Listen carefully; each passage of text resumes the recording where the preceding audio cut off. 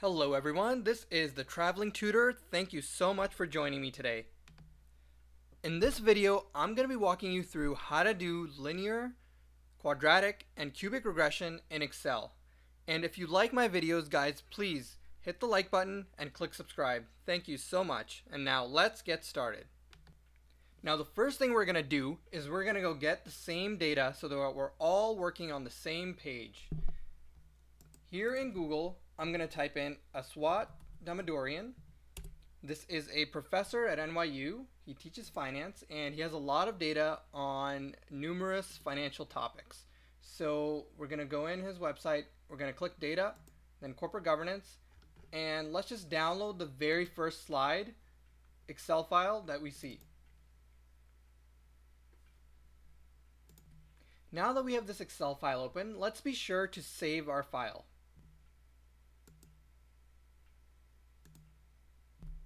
Okay, I've gone ahead and saved this file. Now we're going to look at which of these variables we're going to regress against the other. So here we have CEO holdings, which is the percentage of stock that is held by the CEO of a company. And then we have institutional holdings, and this is the percentage of stock that is held by institutions as opposed to individual stockholders. We're going to want to see if there's any relationship between institutional holdings and CEO holdings. And the way we're going to do that is we are going to employ linear regression in Excel. With that in mind, let's copy this row with the CEO holdings information. And let's bring it onto another sheet over here. This is another tab. Copy paste. Let's do the same thing over here. Institutional holdings. Copy that. Let's paste it here. Let's add a row up at the very top. So just right click and then insert row. Alright, so this is going to be our y variable. So we're going to type that in right here. y variable. And this is going to be our x variable. We'll just type in x variable.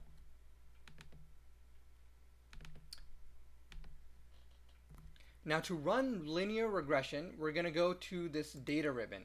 So this is going to have a function called data analysis and we're going to click that. Now some of you might not have this function available in Excel. So in that case what you're going to have to do is click here, File, Options, Add-ins, Excel add-ins go and click the analysis ToolPak and analysis ToolPak VBA. Make sure those are check marked and then click OK. Once you have that and you have data analysis available to you, you can go down here and click regression. Now our Y variable, as I mentioned earlier, is going to be CEO holding. So we can include all of this column except the very first row. And then for the X variable, we're going to choose institutional holdings. So everything, including the labels. And now this is important. We're going to click labels at the top. And we're also going to click line fit plots. Okay, there you have it. There's our regression. And this is our equation, our standard errors, our t-statistics, and our p-value. So what this is saying is basically y is equal to 0.118 plus our beta, so that's going to be a negative 0.129 times x.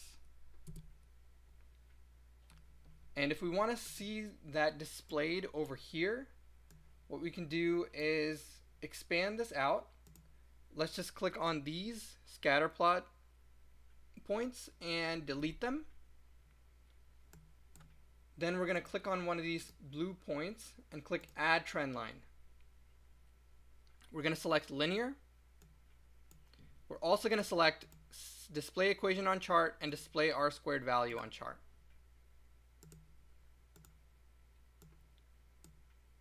And there you have it. For linear regression, you are finished. Now we're going to move on to doing the quadratic regression.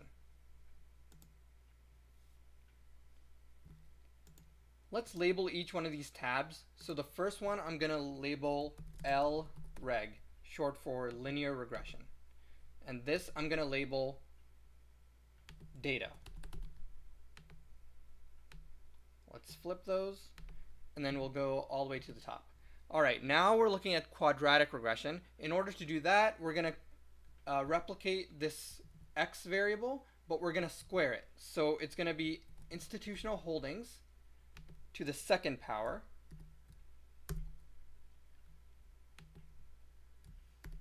squared. And then we're just going to do equals b3 to the second power. And now we're going to drag that all the way down just by double clicking.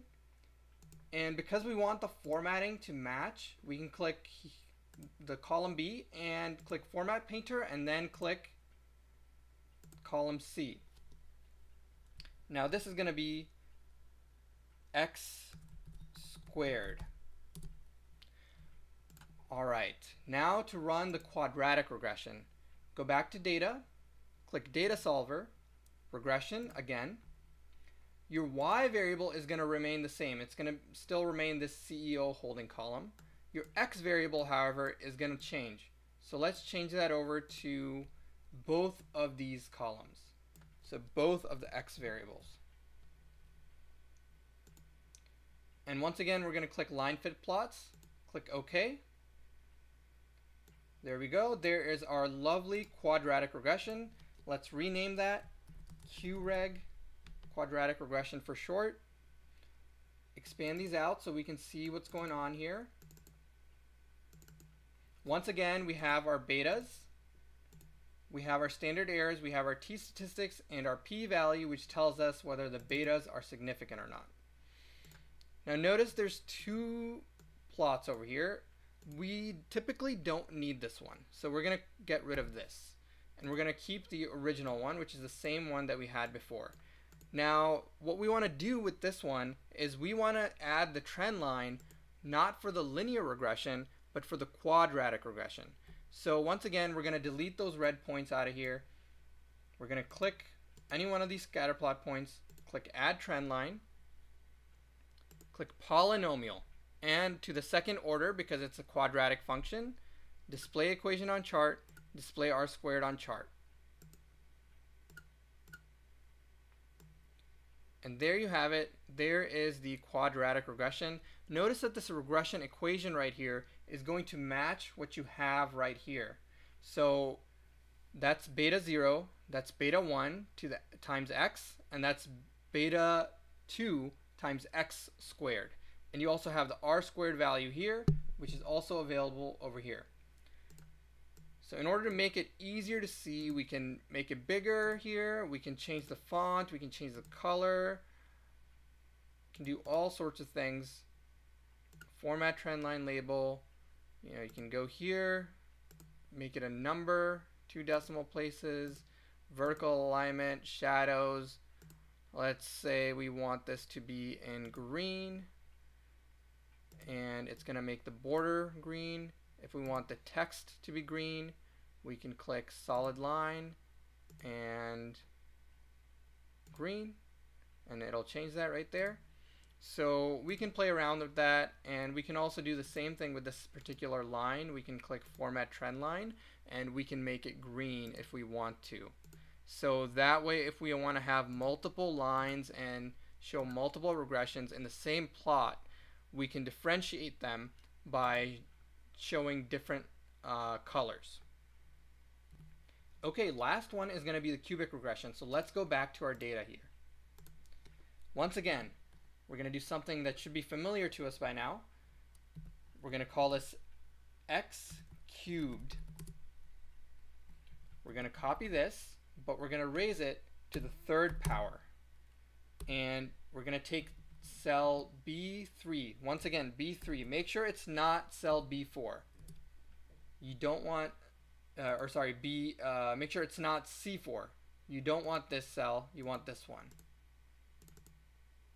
and then we drag it down click format painter there that's done let's go to data data analysis regression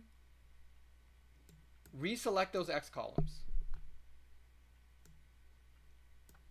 I'm going to select all three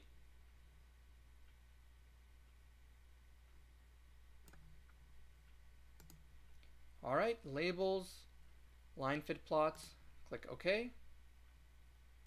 There we have it, our last regression, and we're going to relabel it cubic regression, QReg. So there you have it, folks. Expand this all out.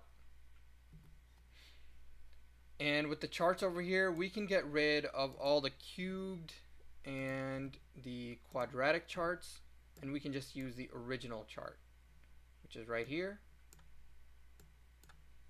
And let's clean this up. So let's eliminate that. And we want a clean trend line. So we are going to, once again, click one of these scatter plot points, click Add Trend Line.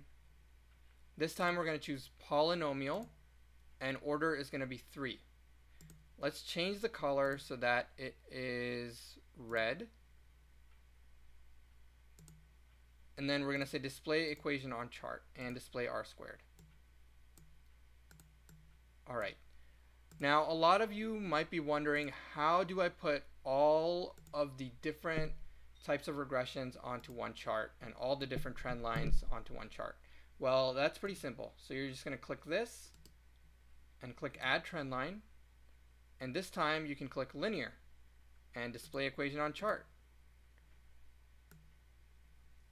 and then you can put that up there move it around play around with it change the color change the font so you can differentiate it so here we have the linear regression in black and the quadratic uh, excuse me that's the cubic regression in red so you can also add the quadratic here it's up to you and I hope you enjoyed this quick lesson if you like the video and you want more, if you want specific topics covered, please leave the information and the questions in the comments. And don't forget to hit like and subscribe.